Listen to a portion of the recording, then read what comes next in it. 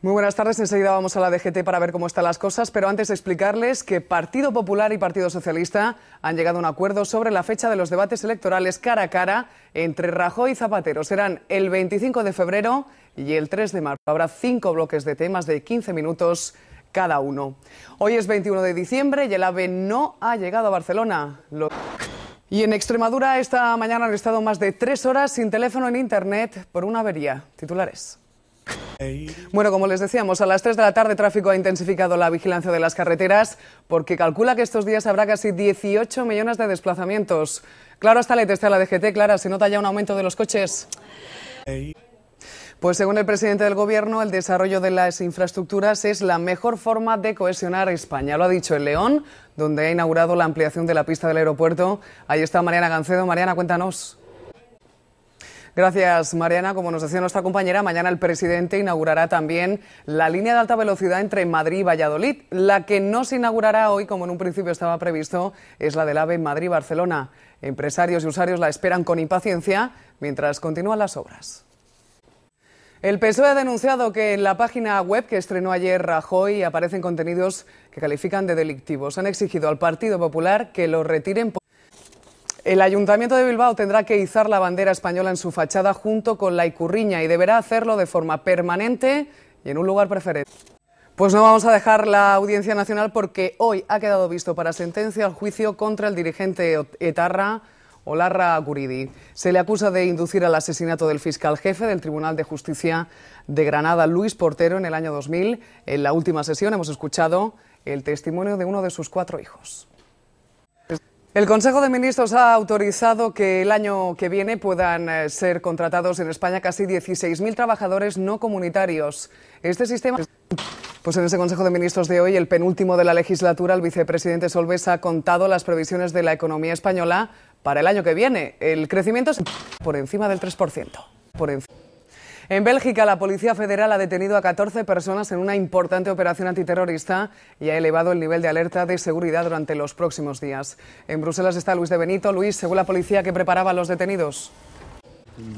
Gracias, Luis. Vamos con más cosas de hoy. En Pakistán, un atentado suicida en una mezquita al noroeste del país ha provocado 42 muertos y decenas de heridos. En Estados Unidos, como les decíamos, donde tener un arma es un derecho constitucional, 30.000 personas mueren cada año por disparos. Las últimas matanzas indiscriminadas han llevado al Congreso a aprobar una ley que obliga a los compradores de armas a tener un certificado de salud mental. Más de tres horas han estado sin funcionar los teléfonos esta mañana en buena parte de Extremadura. La avería ha afectado a los móviles y fijos de casi todo Badajoz, además de Internet. En el sur de Cáceres no han tenido teléfono fijo hasta pasado el mediodía. Lo curioso es que el origen de la avería estaba en la provincia de Sevilla.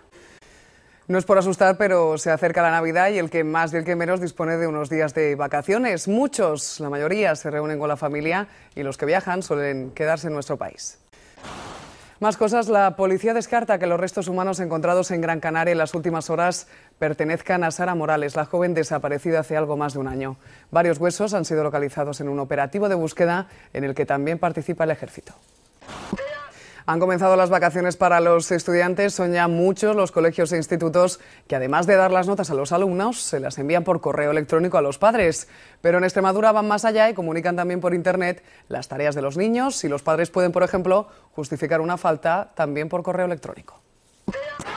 Todo eso en Madrid. Más cosas. La plataforma Todos contra el Canon va a seguir trabajando por la supresión del canon digital que graba todos los dispositivos digitales de Apple.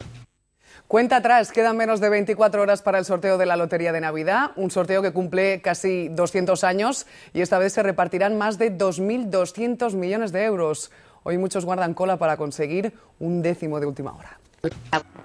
Pues nada, a ver si hay suerte. Y sin saber todavía si les ha tocado la lotería, algunos ya han comprado la cena de Nochebuena. Son los afortunados con uno de los mil capones de Vilalba. La feria de este pueblo de Lugo se remonta al final de la Edad Media. Cuando pensamos en los belenes siempre recordamos las figuras que lo componen, pero apenas nos fijamos en las construcciones. Una exposición en La Rioja propone que nuestra mirada se detenga en las construcciones, en la arquitectura de esos belenes, donde hay sorpresas originales y hasta reivindicativas. Bueno, no hay quien se escape y si se nota en la calle, en las salas de cine, también se nota que ya estamos en Navidad. La cartelera se llena de películas para los más pequeños y también de superproducciones de Hollywood con Will Smith y Nicolas Cage, aunque también se pueden ver las películas que acaban de ser elegidas candidatas a los premios Goya, como Las Trece Rosas, entre otras.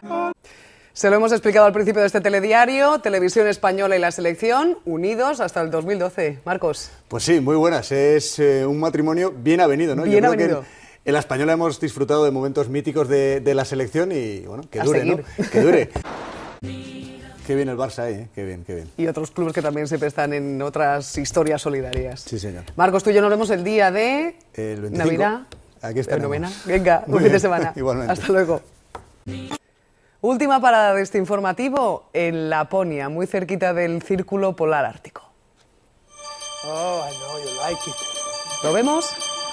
Allí hemos encontrado a Papá Noel, muy atareado estos días. Tiene que tener todo a punto para hacer realidad los sueños de los niños y las niñas.